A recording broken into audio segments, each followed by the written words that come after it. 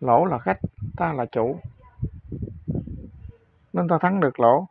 Ngày nay ta kéo binh sang đánh lỗ. Ta là khách, lỗ là chủ. Vì vậy mà lỗ đã thắng ta. Xin chúa công cho sang tống mượn thêm quân mà báo thù. Tề hoàng công nhận lời, sai sứ sang nước ừ, tống cầu viện. Lúc bây giờ vua nước tống là tống mẫn công đang kế vị. Vì muốn giao hảo với tề nên tống mẫn công sai nam cung trường dạng làm chánh tướng.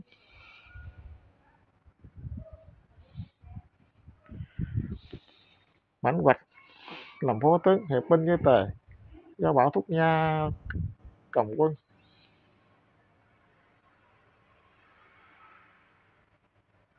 Kéo đến cống ờ, đóng đất lan thành. Lỗ chân công được tin triệu tập quần thần bà kế, lỗ chân công nói bảo thúc nha về thù trước quyết hợp binh nghe tống mà đánh ta.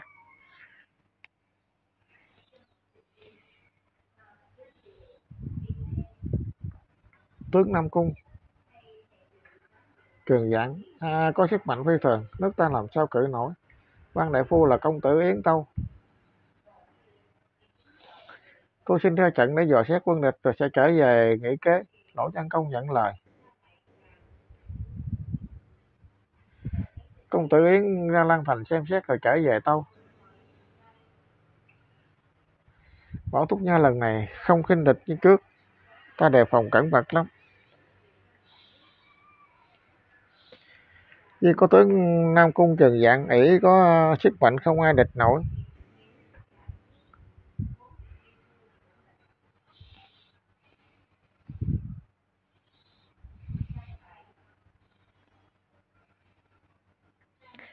Nên để binh mã lộn xộn. Tôi thiết tưởng nếu quân ta sức kỳ bất ý đánh úp một trận ngắt binh tống phải chạy, hệ tống mà thua thì tề đâu dám đánh. Lỗ trang công nói.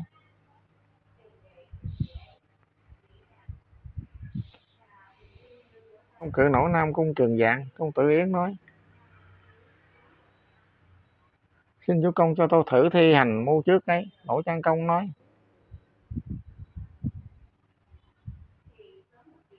Nếu khanh đã quyết, ta cũng bằng lòng xong phải cẩn thận. Công tử yến bái mạng kéo quân ra đi. Đỗ trang công nói. Ta phải tiếp ứng cho công tử yến mới xong. Bàn điểm binh kéo theo sau, cách dài dặm đêm mấy trăng lờ mờ sáng công tử yến đến vài trăm tấm da cọp. Bao lên mình ngựa, rồi khiến quân dẹp cờ giấu trống, âm thầm kéo quân qua củ vụ du môn.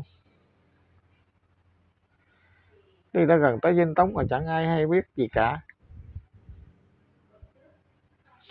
Công tử yến bèn cho quân ó lên một tiếng phất cờ dục trống xông vào trại tống.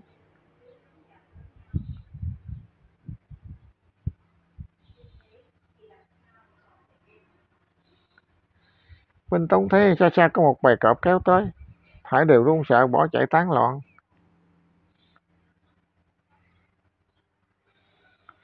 Nam cung trường dạng thấy quân sĩ mình chạy hết. Cũng hoài xe bỏ chạy, không dám cự địch. Cái đó lỗ trang công tiếp binh tới lượt theo chém binh tống rất nhiều.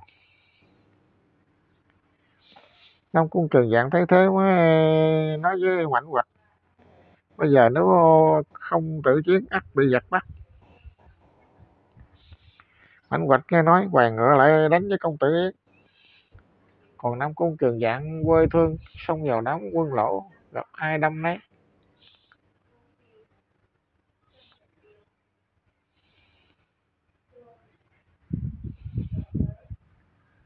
Đỗ Trang Công nói với Xiền Tôn Xanh Người có tiếng là mạnh. Nay dám đơn đầu với Nam Cung Trường Dạng một phen chăng? Xuyên Tôn Sanh nói. Dẫu gia có sức mạnh đến đâu Mà một ngựa, một phương cũng chưa đủ sợ. Nói rồi hét lên một tiếng, Chung đau tước đâm ngay vào bụng Nam Cung Trường Dạng. Long Cung Trường Dạng đỡ một đau, đẩy lửa làm cho xiền tu sinh bủn rủng cả tay chân. Lỗ chân công biết xiền tu sinh không cự nổi, rồi bảo kẻ tả hữu lấy hãy lấy kim học cô ra cho ta. Kẻ tả hữu dâng lên, lỗ chân công lắp cung nhắm trường dạng bắn ra một mũi. Mũi tên bay đèn găm vào hai phía hổ của trường dạng thấu xương trường giảng hét lên một tiếng đưa tay rút mũi tên ra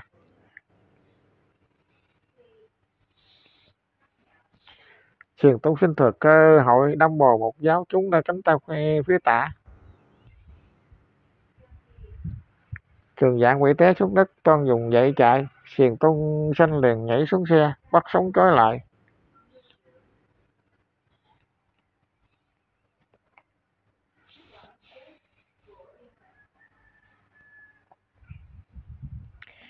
Mảnh vật thi chú tướng bị bắt, vợ bỏ xe chạy trốn.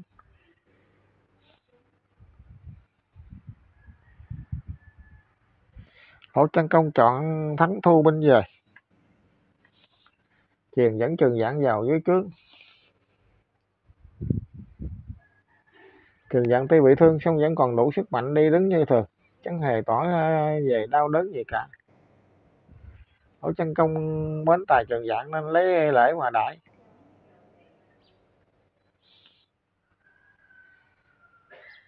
Còn Bảo Thúc Nha thấy binh Tống bị thua, liền nghĩ mình cố thế phải rút binh về.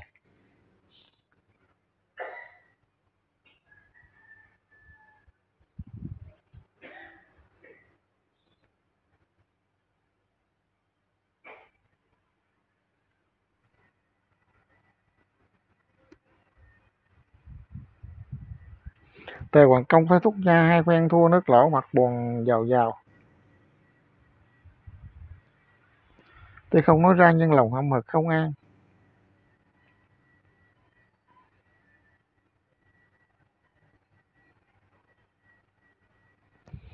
Năm mấy tờ quần công xe quan đại hành là thấp bằng sang nhà Châu để cầu hôn. Qua năm sau, Châu Hoàng Dương sai sứ qua nước lỗ, khiến lỗ trang công đứng làm chủ hôn, đặng gả công chúa Dương Cơ cho Tề Hoàng Công.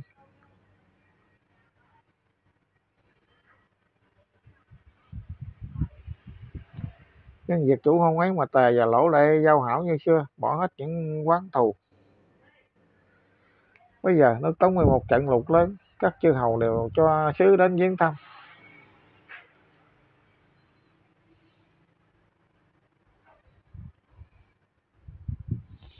Nỗ chân công trước kia có thù với tống, nay đã thân thiện với tề thì không còn ghét gì tống nữa, nên cũng cho sứ sang viếng thăm.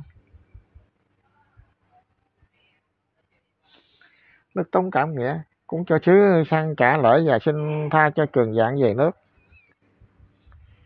Lỗ Chân Công nhận lời. năm cung trường dạng được đưa về ra mắt Tống Mẫn Công. Tống Mẫn Công trông thấy trường dạng bèn nói đùa rằng, ngày trước ngươi là tướng, ta rất bậc kính yêu, nhưng nay ngươi là tù của nước lỗ, ta không còn kính yêu nữa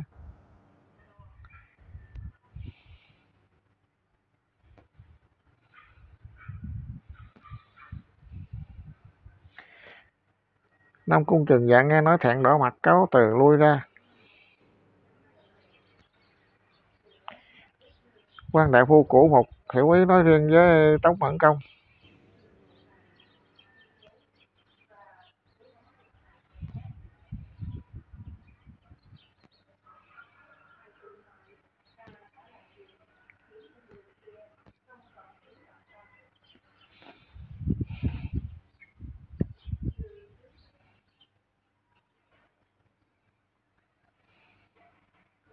Vua tôi giao tiếp với nhau cần phải đứng đắn, không nên đùa giỡn.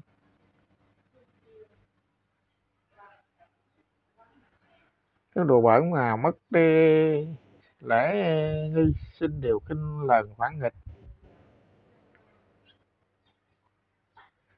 Xin chú công xét lại, Tống hoàng Công nói. Ta cùng năm cung trường dạng quá ư thân thiết, đã thân thiết mà còn giữ lễ thì sao gọi là thân? Ta tưởng điều ấy chẳng tai hại gì năm ấy vua trương trang dương nhà châu mất, thái tử hồ tề lên ngôi, tức là vua hy dương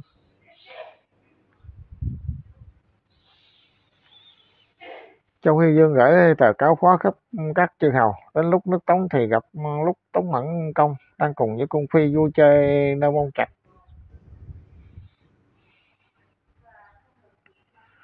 Đã khiến Nam Cung Trường Dạng ném kích làm trò vui. Nguyên Nam Cung Trường Dạng có tài ném kích lên trời cao đến mấy trượng rồi lại giơ tay bắt lấy. Trong cái không chặt một công nhân nghe nói ai nấy cũng muốn xem, nên Tống Mẫn công cho Nam Cung Trường Dạng theo hầu và bảo làm trò ném kích ấy. Các công nhân xem thấy tài của Trường Dạng đều vỗ tay khen ngợi không dứt lời.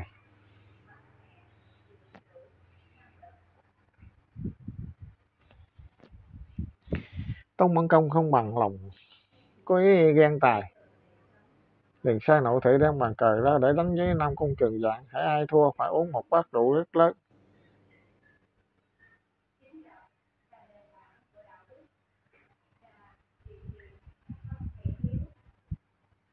Tống Mẫn Công là tay cao cờ. Trường Dạng thua luôn năm giác. Trường giảng đã ngàn ngà xa nhưng lòng chưa thua xin đánh thêm gián nữa. Tống Mẫn Công nói tù nhân thì tất phải thua dù đánh thêm mấy gián nữa cũng chẳng thắng nổi. Ông Cung trường Dạng xấu hổ ngồi lặng thinh không nói. Bỗng có tin sứ nhà châu uh, đam thiệp cáo phó đến. Tống Mẫn Công nói Thế thì ta phải sai người vào Triều Châu ờ, điếu tang và chúc mừng vô mới. Năm Cung già, Trường Dạng nói.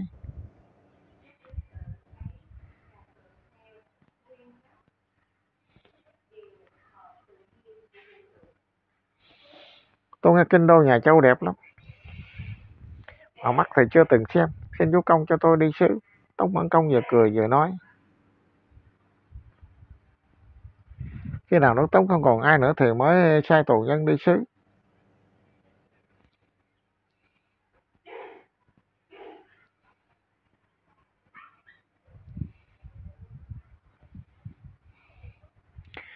Các cung nhân đều cười ầm lên, Trần Dạng mặt đỏ bừng vì thẹn quá mà quá giận, lại đang lúc say rượu chẳng còn nghĩ gì đến đạo vô tôi, cả tiếng mắng.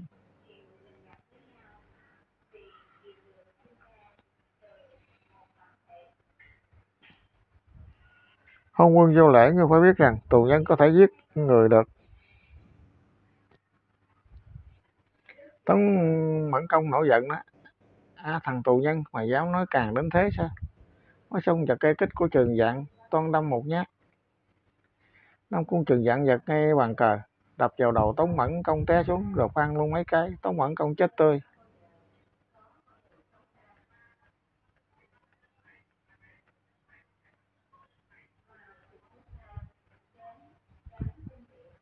Bọn cung nhân sợ hãi bỏ chạy tán loạn.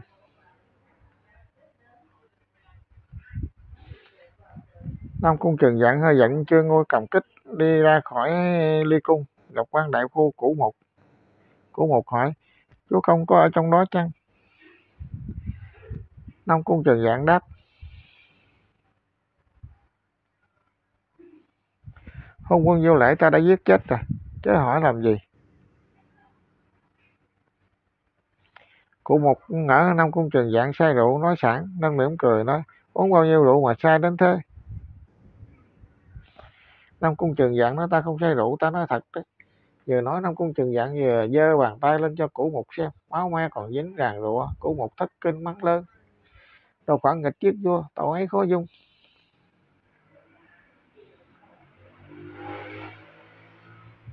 Nói rồi liền giơ tay hốt lên đánh Nam Cung Trường Dạng, Nam Cung Trường Dạng bỏ cái kích xuống đất. Tay trái đỡ văng cái hốt đi, tay mặt đấm vào đầu cũ mục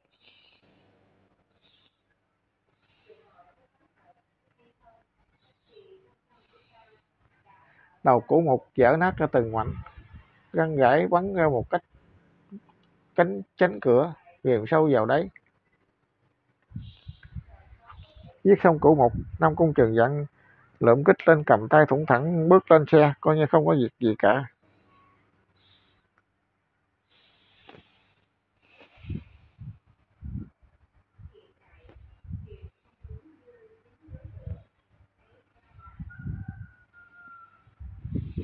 Qua thái thể thái thể qua. Đốc hai tinh vội vàng dẫn quân đến bắc. Khi đến đông cung gặp nam cung trường dạng đi tới, nét mặt lầm lì. Qua đốc chưa kịp múa rung đã bị nam cung trường dạng sáng cho một kích, chết không kịp ừ, mắng chửi tiếng nào. Nam cung trường dạng vào kiều tôn công tử vô lên nối ngôi. Các công tử khác nghe tin đều bỏ trốn ra nước ngoài trong số đó có công tử nghị thiết trốn sang nước bạc. Nam cung trường giảng nói, nghị thiết là người học trò giỏi có tài. Nay trốn sang nước bạc ắt về sau sinh biến? Chỉ cần giết được nghị thiết là xong. Còn các công tử khác chẳng chi mà nổi sợ. Nói rồi liền sai con là nam cung ngu cùng với mảnh hoạch đem quân dây đất bạc công tử nghị thiết hai tin vừa bàn với bạc chúa, sai người tới tiêu cầu cứu.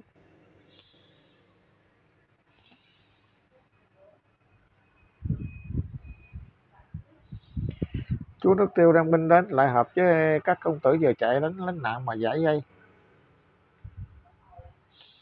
Công tử nghị thiết, thấy có cứu binh đến dỗ mở cửa thành tiếp ứng.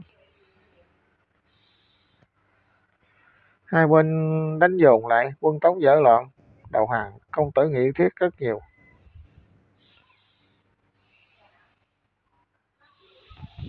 Tướng nam cung bị tử nạn, còn mãnh hoạch không dám trở về, trốn qua đất dạy cư trú.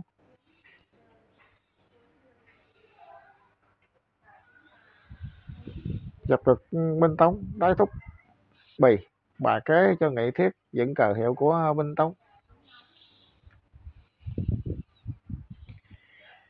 Kéo về kinh đô giải làm đoàn quân của ờ, nam cung ngô chiến thắng kéo về. Nam cung trường dạng ngỡ thiệt, không chút đề phòng. Các công tử kéo quân thẳng vào trong thành hô lớn. Bắt tên phản nghịch, nam cung trường dạng mà giết.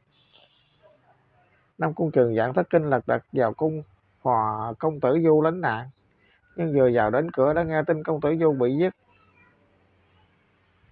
Thường dạng thở dài, ngẫm nghĩ. Các nước chư hầu đến giao hảo với tống cả. Nay chỉ có người trần là nghịch với tống. Mà thôi, vậy ta qua đó mới yên thân. Nghĩ rồi tôn thoát ra cửa, nhưng chợt nhớ đến mẹ già hơn 80 tuổi, còn ở nơi dinh thất. Bèn qua về ôm mẹ lên xe tay trái cầm kích, tay phải đẩy xe cho mẹ. Qua cửa thành chạy nhanh như bay không một ai dám cản trở cả.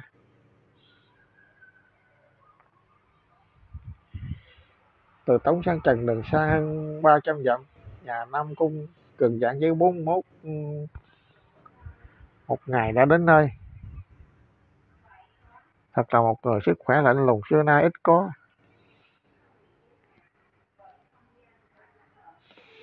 Công tử vô quỷ chết, công tử nghị thiết lên ngôi. Xưng hiệu là tống hoàng công. Tống hoàng công phong cho đái thúc bì làm đại phu, lại sai nước, sang nước trần. Yêu cầu trần bắt giao năm cung trần dạng về nước.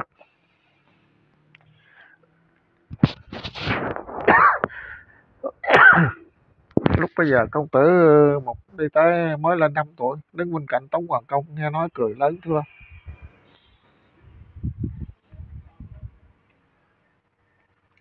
không bắt được năm cung trường dạng đâu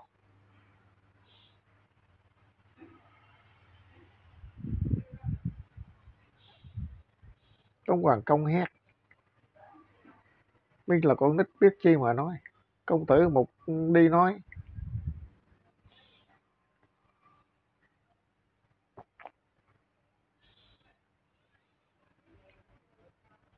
Người có sức khỏe mà ai chẳng kính trọng.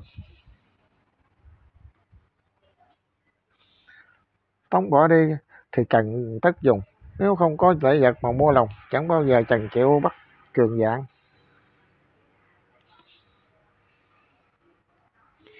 Tống Hoàng Công nghĩ lại, khen phải, liền sai sứ đem nhiều lễ vật châu báu sang cống cho hiến cho Trần.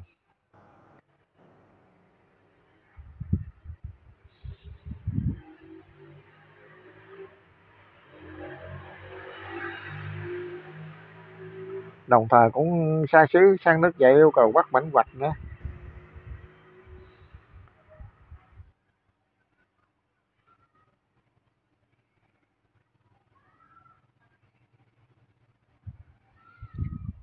Vậy huệ công hỏi quần thần quần thần đều thưa, mảnh vạch trong lúc nguy cấp sang đầu ta lẽ nào ta lại bỏ?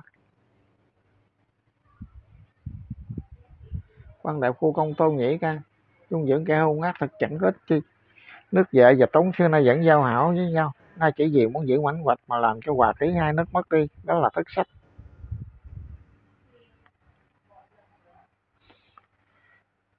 vậy huệ công khen phải kèn trói mảnh hoạch giải sang nước tống. Lại nói qua việc tống sang trần yêu cầu bắt nam cung trường dạng. Sang tống mang lễ vật rất nhiều, giàu ra mắt. Trần tiên công tham lễ thận cả năm cung trần dạng, nhưng lại sợ sức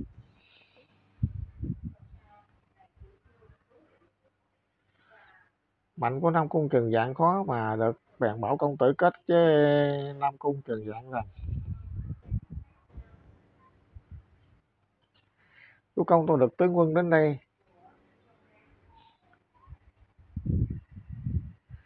Khác nào như được mười thành, dẫu nước tống cố sinh đến đâu.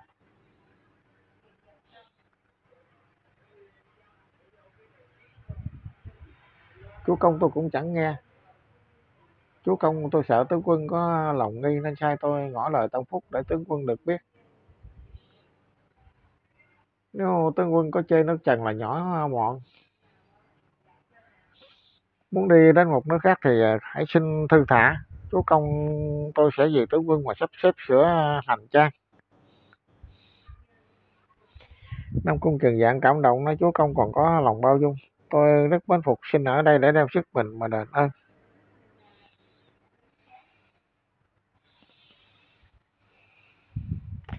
Công tử kết và tiệc rượu đãi rằng rồi xin trường dạng kết làm anh em.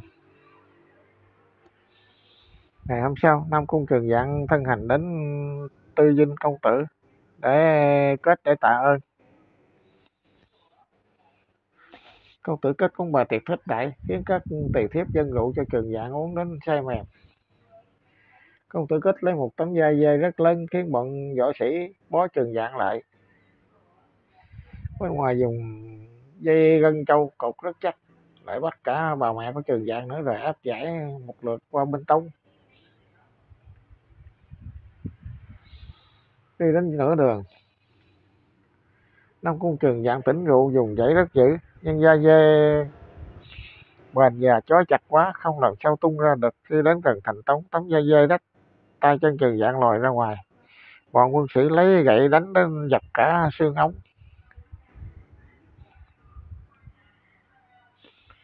Tống Hoàng Công truyền đem năm Cung Trường Dạng và mảnh quạch ra lóc từng mảnh thịt để làm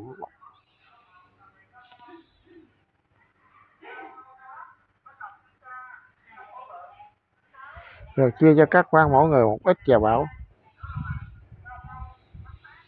kẻ nào làm tôi không chọn đạo thời vua hãy trông vào thứ mắm đó.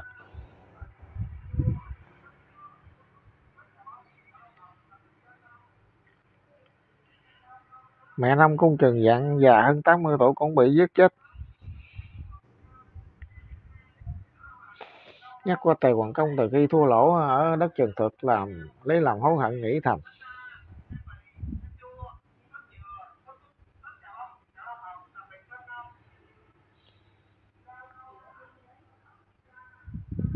Bởi ta không nghe lời quản trọng.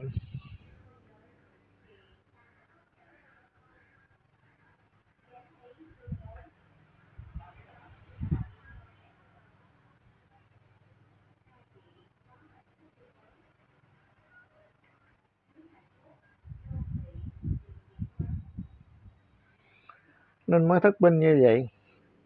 Từ đó giao tất cả quyền chính cho quan trọng ngày nào cũng ở trong cung uống rượu với các cung phi.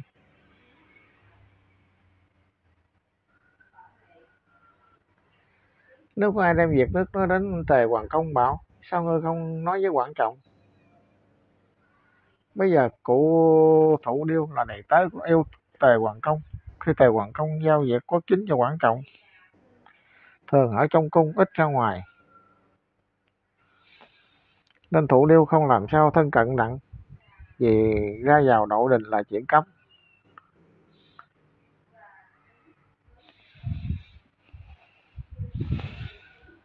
Thủ điêu bàn tự phiến mình, rồi xin cho vào cung hầu hạ. Tề hoàng công thấy vậy thương tình, cho hầu cận một bên.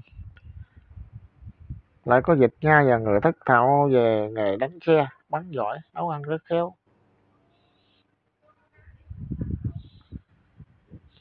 Nè, cái công chúa Dương Cơ có bệnh. Dịch nha nấu đồ ăn dân lên.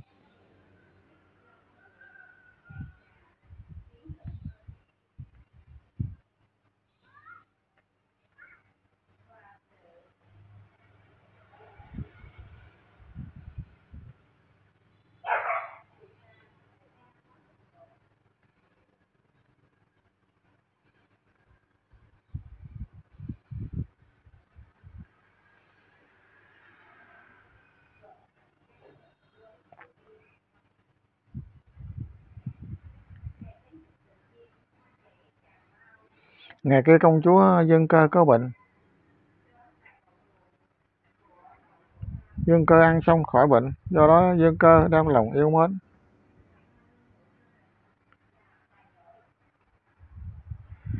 Nha dịch lại đem nghề nấu ăn của mình khoe với thủ điêu, nhờ thủ điêu tiến cử mình được ý kiến vua.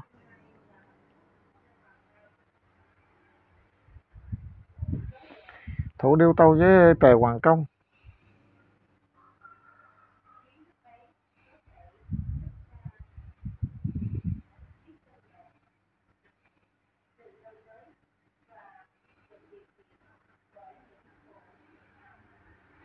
Một hôm Tề Hoàng Công gọi dịch nha đến hỏi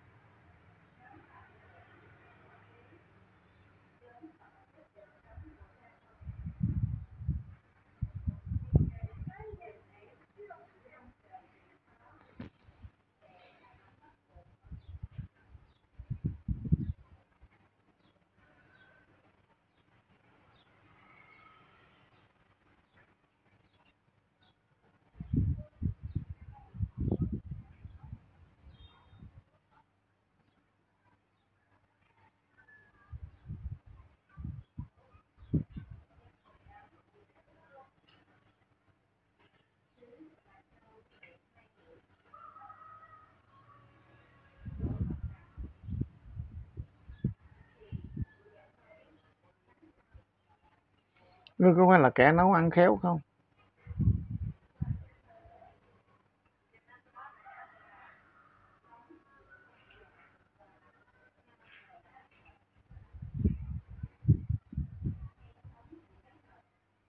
Dịch nha tâu.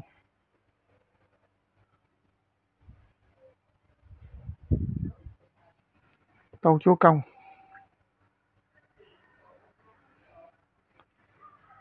Tệ không ai sánh kịp. Tề hoàng công nói đùa.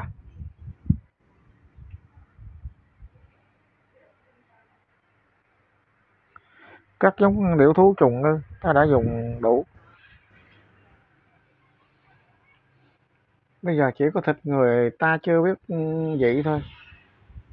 Dịch nha lui ra, đến bữa trưa, đem vào dân một cho mâm thịt chín, mềm như thịt dê con, mùi thơm ngào ngạt. Thầy hoàng công ăn xong hỏi dịch nha, thịt gì mà ngon thế? Dịch nha tâu đó là thịt người. Thời quảng công giật mình kinh ngạc hỏi ngươi lấy đâu ra? Dịch nha tâu đứa con trai đầu lòng của tôi mới lên ba tuổi. Tôi thiết tưởng đã chung với vua thì còn kể gì đạo nhà nên làm thịt con đem dân cho chúa công ăn. Tề Hoàng Công trầm mặt nói, thôi ngươi hãy lui ra.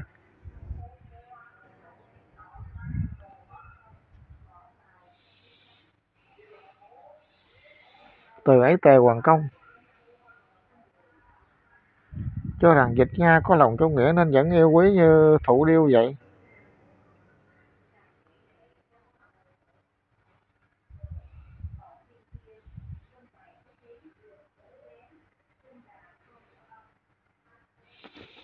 Thủ điêu gì dịch nha không ưa quan trọng, nay thấy mình được vô tinh dùng, bèn tâu với tề hoàng công.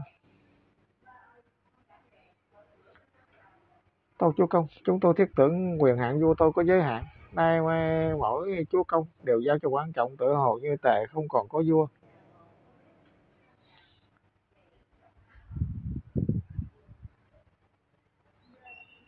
Tề hoàng công vừa cười vừa nói,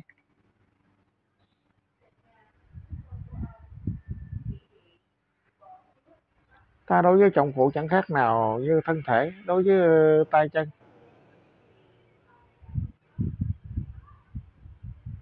Nếu tay chân mà mất, thân thể thì bị tàn phế. Có dùng được việc gì? Bây giờ là tiểu nhân biết gì mà nói. Thủ điêu gì dịch nha, từ đó không dám nói nữa.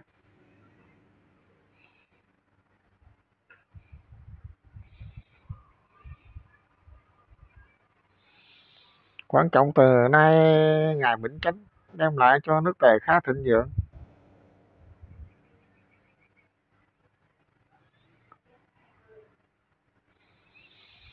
Thời bây giờ nước sư, đương hồ cường thạnh, mấy nước nhỏ ở miệt hớn đông đều phục tùng cống lễ chỉ có nước sái, cậy thế kết thân với tài, nên không chịu tùng phục.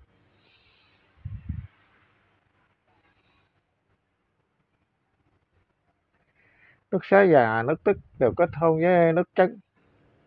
Sái hầu cưới người chị, tức hầu cưới người em, tức phu nhân gì tức dĩ nhan sắc tuyệt dời đã đẹp mà thánh tình lại đoan chính, trông rất khả ái.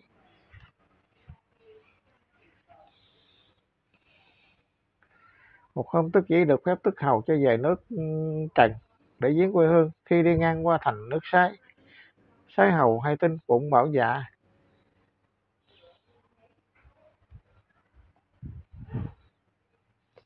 Tức phu nhân là em vợ ta nhân lúc đi ngang qua đây, lẽ nào lại không rước vào thành hậu kiến? Bèn sai đón tức phu nhân rước vào cung đại tiệc trong lúc ăn uống, sái hầu dùng lời kêu ghẹo tỏ ra không đứng đắn. Tức phu nhân nổi giận bỏ tiệc ra đi. Tức hầu hay được chuyện sái hầu vô lễ.